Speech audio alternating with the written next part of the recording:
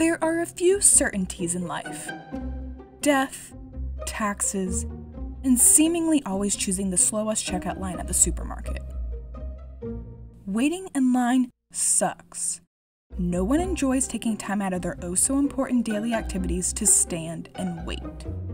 Well, except maybe the British, who are known for always forming orderly queues.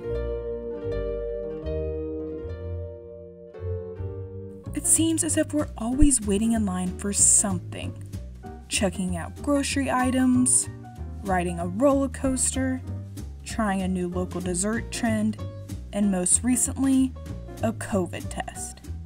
In fact, the average person spends one to two years of their life waiting in line. But lately, you might have noticed supermarket lines are getting longer. However, according to queuing experts, that might not be a bad thing.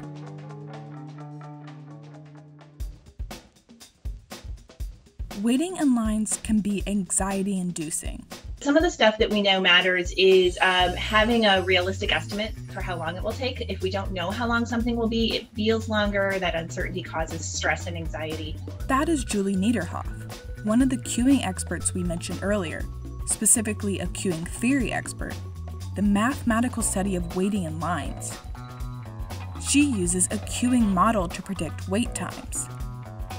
The ultimate goal is to determine the best line type with the available resources. For grocery stores, it's usually between two types. The traditional type and most commonly used today is the multiple server multi single line phase. In this line, customers select one line out of multiple that end up at multiple cashiers. And this is where the anxiety comes in. What if you choose the slower one? How do you know if the person in front of you plans to pay with a hundred coupons or the cashier runs into trouble with the computer? Suddenly, you see the person who chose the line adjacent to you check out faster even though they arrived after you.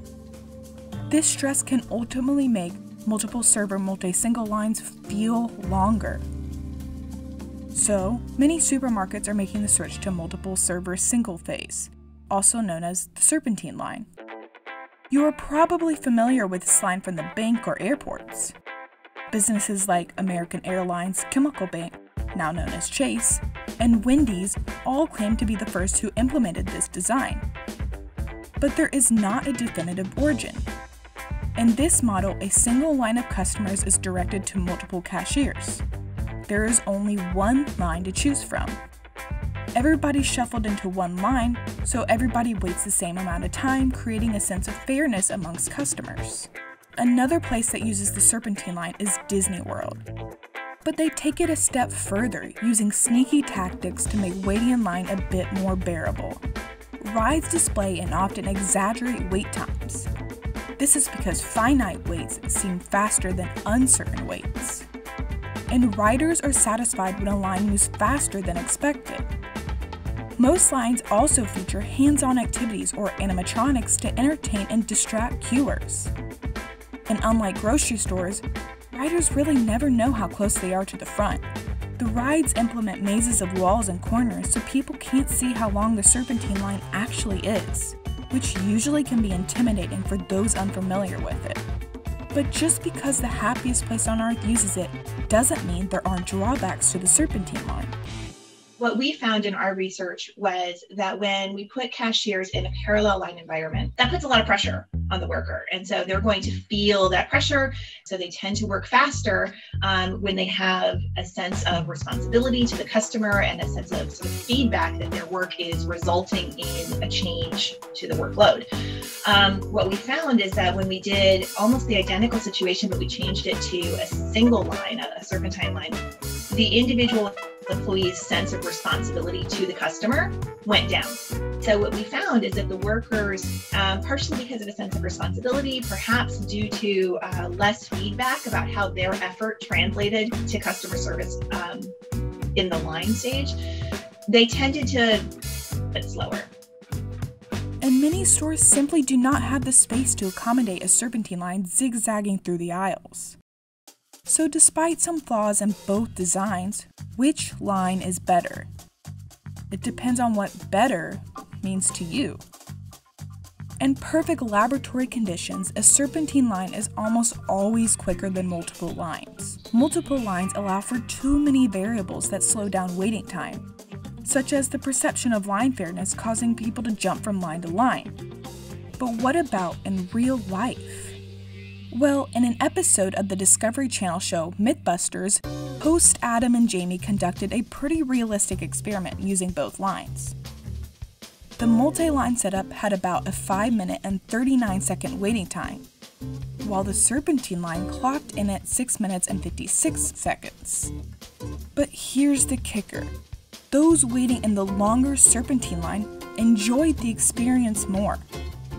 Customers in the multi-line setup gave a 3.48 average rating out of 5. And customers in the serpentine line rated their experience higher at 3.8 out of 5. In essence, a serpentine line seems shorter because it feels fair. The anxiety of choice is gone. According to David Maister, a former Harvard professor, this concept is scientifically true. Your satisfaction equals your perception minus your expectation. He says, if you expect a certain level of service and you perceive the service reviewed to be higher, you are satisfied. It benefits both the customer and the business. From the management side, it's really nice because if you want to add a cashier, we've all been in that experience um, as customers where you're waiting in line and a new cashier opens and says, Oh, I can take people over here. Well, it's really chaotic, right? Because who gets to go to the new cashier? it should be the people who have been waiting the longest, but they're deep into the line getting them. So it's always somebody who just walked up and now all of a sudden they get to go out.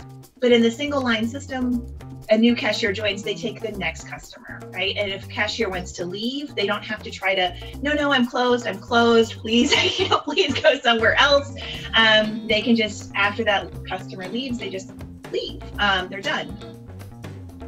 After significant research, Whole Foods executive in New York City determined the serpentine line would be the best option for its stores. The multi line system would simply not work for the expected crowds. And in order to further maximize efficiency of this design, Whole Foods uses a line manager that directs customers to an open register. Now, stores like Trader Joe's, Stop and Shops, and others are beginning to follow suit.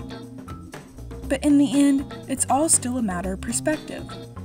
Would you rather believe that you are in a fairer line that is potentially slower, or take the risk and stand in a potentially faster line with uncontrollable variables? Thanks for watching. If you want more stories like this, check out our new show, Who Knew, on Cheddar's TV network. It airs every Wednesday at 8 p.m. as part of our Originals Hour.